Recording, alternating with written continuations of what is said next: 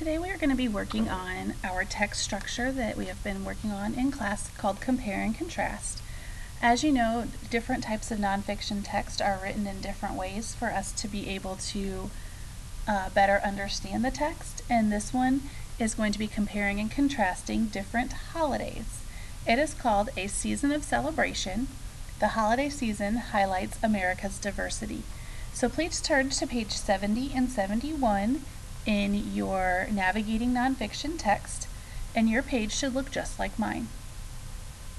First, we're going to look at some of the text features of this text so that we can better understand what we are going to be reading about. Remember, text features include headings, photographs, captions, charts, inserts, diagrams, etc. So today we're going to be looking at, um, first we're going to look at this page right here. In this page right here, we have some headings. Our first heading here is called All in the Family. So we can make a prediction that this might be about the different families in our um, nation of the United States and maybe how those families celebrate different holidays. If we look down here at the different uh, photographs, you'll see this one has a caption titled Hanukkah. So we know that this photograph is representing the holiday of Hanukkah. This photograph has a caption of Ramadan, and that we know that that would be the holiday that is portrayed in this photograph. This last photograph is Diwali, and this is a photo of an event that would happen in that religion or tradition. So what we're going to be doing today is I'm going to be reading to you and pausing for different types of questioning and when we are finished we are going to be using the same text in our whole group lesson. So I am going to go ahead and zoom in so that we can read this text together. For 30 days, Yasmin Ahmed won't eat, won't drink or eat until sunset. Yasmin, 12, is a Muslim.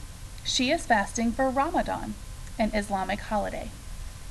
When we fast, we can feel how poor feel and how hungry they are because they don't get to eat, says Yasmin, who is from Bethlehem, Pennsylvania.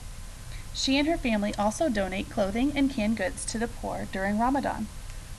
Americans practice different faiths, each with its own holidays. The freedom to practice religion is a major reason why the pilgrims settled here. During the last three months of the year, followers of many religions in America celebrate their holidays.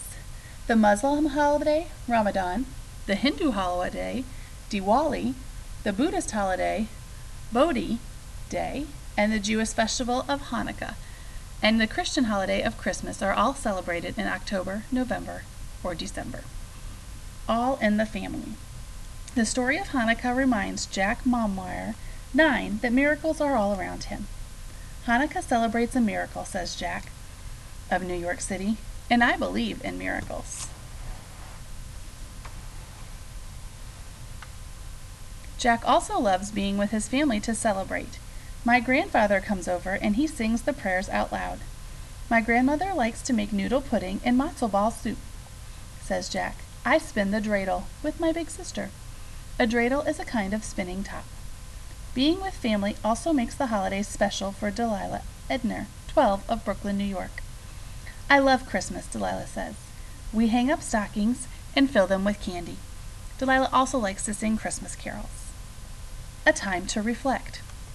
Some see the holidays as a time for reflection and prayer. Diva Singh, 14, who lives in Queens, New York, was born in India. We pray for prosperity, knowledge, and peace, she says.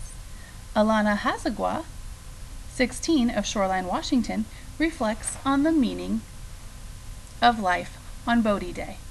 Bodhi Day celebrates enlightenment in the day when the founder of Buddhism became the Buddha after meditating beneath a Bodhi tree. No matter what your beliefs are, age old rituals and traditions have great meaning. Paul Thayer, a religion and child expert, explains the rituals and traditions of holidays are fun and connects kids to the goodness of life.